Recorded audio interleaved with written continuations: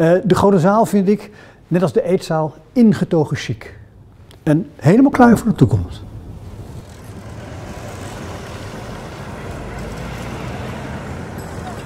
De aanleiding was dat wij een nieuwe eigenaar kregen van dit pand. En uh, die wilde hier een hotel gaan exporteren. Wij zaten toen gedeeltelijk op drie en gedeeltelijk op twee. En zij zei, dat komt ons slecht uit. Kunnen jullie nou niet wat je op drie hebt verplaatsen naar twee? Toen hebben we gezegd, nou dat vinden we prima. Maar dan moeten jullie er wel voor zorgen dat de zalen die we nu hebben uh, vergelijkbaar zijn in de zalen die we straks gaan krijgen. Want dat waren kantoren en dat was met verlaagde plafonds en dat zag er vreselijk uit. En toen kwamen we uh, ZZDP-architect met uh, vader en zoon Adam en Frank, nee Frank en Adam Smit. En um, met een plan. Het was een bijzondere opdracht natuurlijk, want het ging via het uh, architectenbureau van mijn zoon die uh, het hele gebouw aanpakte.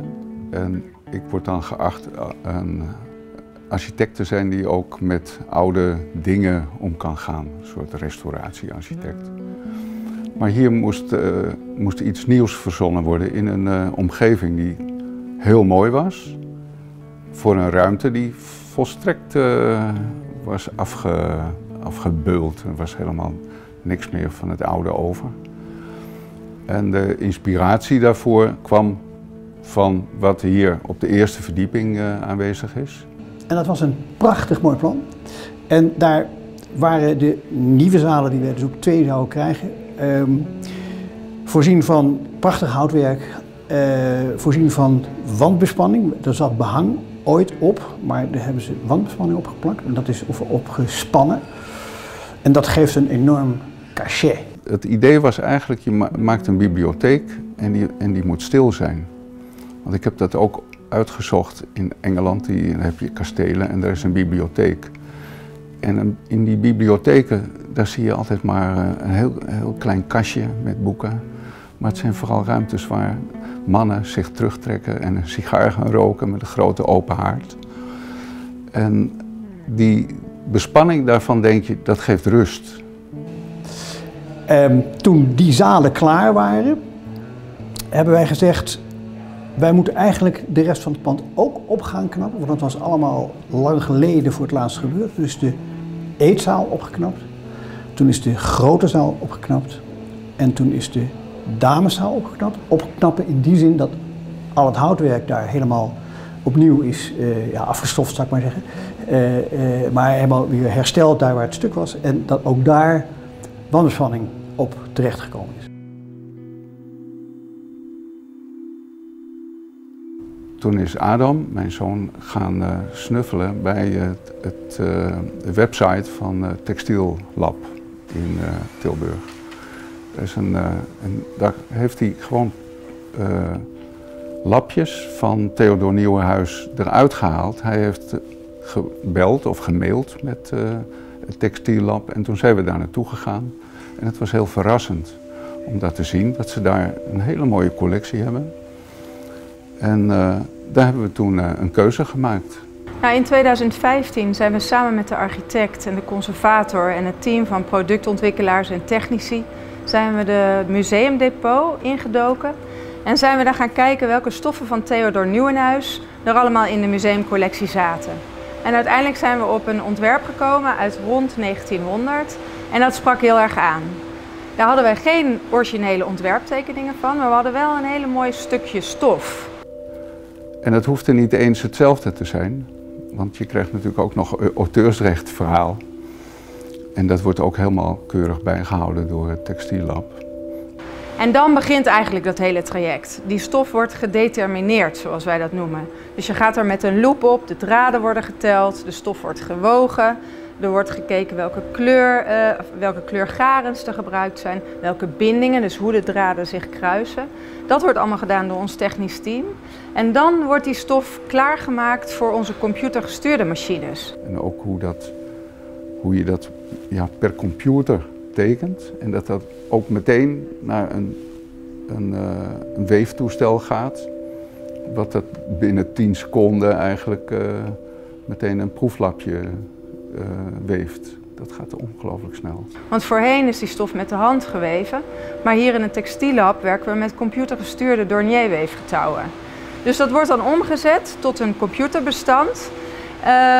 Natuurlijk zijn we toen ook op zoek gegaan naar de juiste garens. Uiteindelijk zijn dat garens geworden die ook brandvertragend zijn gemaakt. Dat wil zeggen dat we nou ja, eigenlijk putten uit het verleden. Dus er wordt inspiratie gehaald uit de museumcollectie. En die wordt doorvertaald en doorgetrokken naar een stof die in 2019 geschikt is om op de wanden te, te bespannen.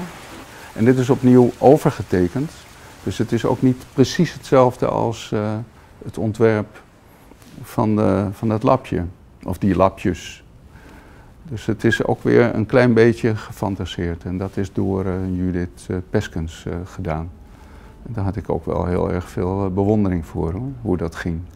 En we zijn toen ook bij de timmer, de timmerbedrijf geweest. Eh, we, zijn begonnen met een regelwerk te maken. Dus een regelwerk rondom. Dus dat betekent boven de lambrisering, langs de plafondlijst, ehm, in de hoeken.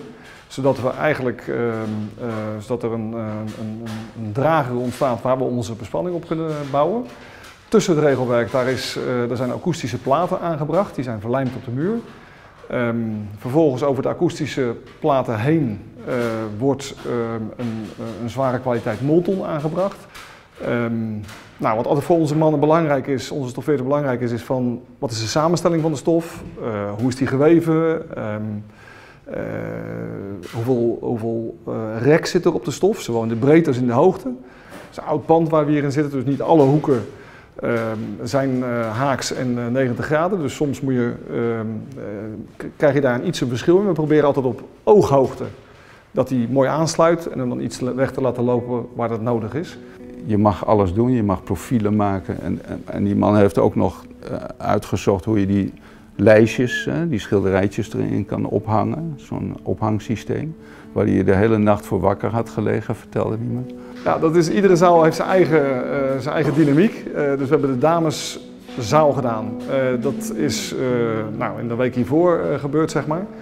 Um, daar zit een traditionele onderbespanning onder. Dat is net iets anders dan wat het hier is. Dus daar maken we echt een onderbespanning van fijnmazig linnen. Velletjes grondpapier inschuiveren en vervolgens weer die molton in de stof. Dus dat is echt een traditionele laag die dient om de wand toch dicht, damp open te maken. het, het, vak dat verdwijnt zo langzamerhand, maar hierdoor blijft het bestaan. Net als het bespannen, dat, uh, dat vak. En, en daarom is het Textielmuseum natuurlijk ook fantastisch. Die levert daar ook een bijdrage aan. Dus het artisanaat, zoals dat heet, dat uh, moet eigenlijk heel erg beschermd worden. En wat daar de uitdaging was, dat, dat zijn de roosters. Er zitten hele bijzondere roosters die met, uh, door middel van een koord eigenlijk een trelliswerk vormen, wat geknoopt is. En je moet je voorstellen, dat zit dan in dat gespannen vak. Dus je wil die spanning, uh, die moet blijven kloppen, zeg maar, in het totale vak. En dat trelliswerk moet ook uh, mooi op zijn plaats zitten. Dus dat zit via knoopsgaten, die wij zelf ook in die stof genaaid hebben. Zit uh, die kabel eigenlijk als een trellis verwerkt. Ja, dat is wel extra uitdagend en, om dat dan goed te krijgen. Ja. Het is nu uh, acht jaar geleden dat we zijn begonnen met de nieuwe zalen daar. we hebben nu nog alleen de bar op de lijst staan, daar moet nog eens even iets aan gebeuren. En dan denk ik dat we weer van voren moeten gaan beginnen om te kijken of er dingen beschadigd zijn of hersteld moeten worden. nou, dus dan ben je dus altijd bezig met een gebouw als dit. dat is ook de enige manier om het te houden zoals het is. Nou, waar ik trots op ben, is dat, dat jullie er eigenlijk heel blij mee zijn. Dat, dat vind ik het leukste. En uh, nou, mogen ook heel blij zijn met de opdrachtgever, dat hij dat uh, toestond. En dat hij daar ook wat in zag. En ik denk dat iedereen gewoon heel blij is. En trots. Dat ben ik niet alleen hoor. En het leuke is nu dat, dat, dat het hele pand nu klaar is. Een heel nieuw dak op, alle, de hele buitenkant is vernieuwd uh, en, en, en boven is het hotel ook helemaal weer in de stijl zoals het was in 1914 toen het geopend werd. Dus het is allemaal ja, hartstikke mooi.